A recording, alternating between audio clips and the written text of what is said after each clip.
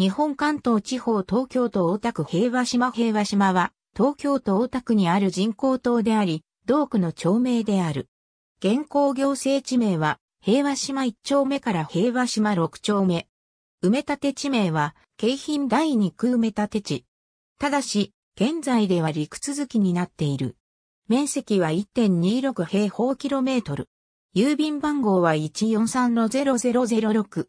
東京都大田区の東部に位置する。地域北部は品川区勝島になる。地域東部は大田区東海、南部は大田区昭和島、西部は大田区大森本町、大田区平和の森公園になる。東部の大田区東海との間を京浜運河が流れている。地域の大半は工業用地である。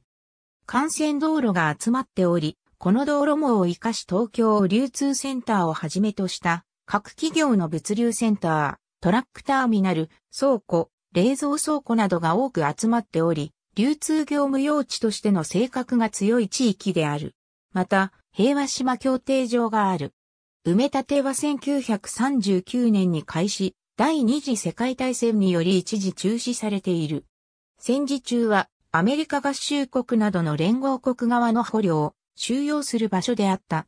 戦後は一時、東条秀樹ら戦犯の一時収容所にもなっていた。このような経緯から平和への祈りを込めて平和島と呼ばれるようになり、そのまま地名になった。当地が流通業務地として成立したのは昭和40年代以降のことである。2017年12月1日現在の世帯数と人口は以下の通りである。区立小中学校に通う場合、学区は以下の通りとなる。地域北部の品川区勝島とは、勝平橋でつながっている。また、東部の大田区東海とは、新平和橋と大和大橋でつながっている。地域南部の昭和島とは、南海橋でつながっている。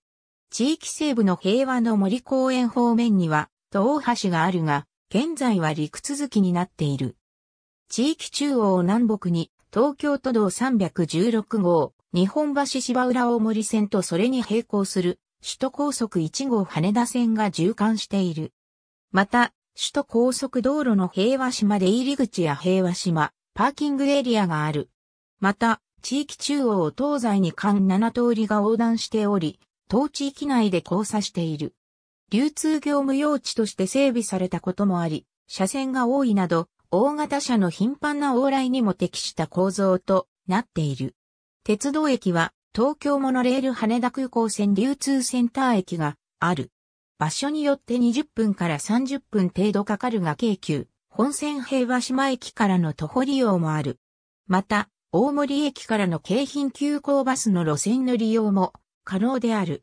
ありがとうございます。